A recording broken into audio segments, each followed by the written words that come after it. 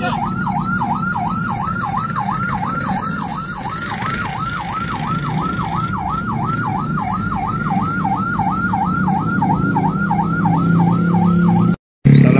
warahmatullahi wabarakatuh. Mohon maaf pada supir ambulan, teman-teman yang sempat tadi terhenti, tiada halan lain.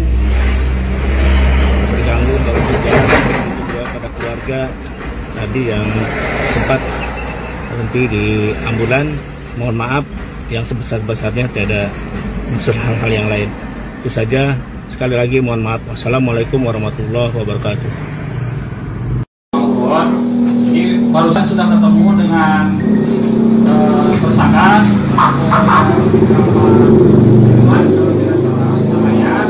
Dan ini sudah ada permohonan maaf secara langsung pribadi.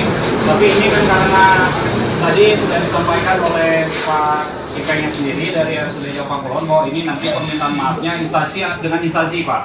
Gitu ya. Dan hari ini juga ini Bapak ini juga dari kepolisian dari Polres ini jadi meyakinkan bahwa kita permasalahan ini akan diproses Pak.